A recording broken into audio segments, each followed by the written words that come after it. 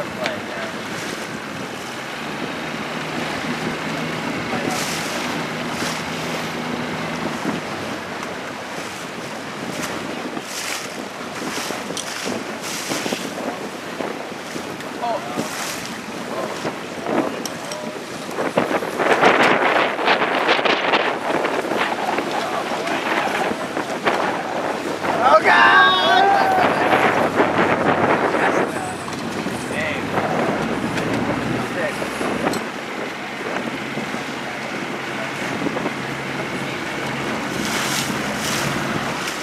Peter, is there anything else you want to say? Like what? Anything else I should be doing that would make it easier for you? Uh, Sorry? I,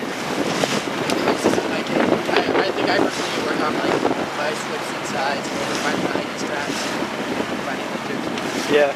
It's more important, like when it's windy, the jib doesn't have to be all the way in. It's better to be have you in the straps, hiking, and then getting the jib in the last four or five inches, you know? That is critical, especially in the puffs, you know? And sometimes, I mean, you could be like, all right, tack and right in the straps. You know what I mean? Like when you know the boat, like you're in a puff and the boat's super loaded up. Um, that's like, that's a good one. Just really quick and fast up into the. Also, would you rather we ease the main or the or the jib? They both should go out, but the jib should probably be the first one to go out. And it's a little easy.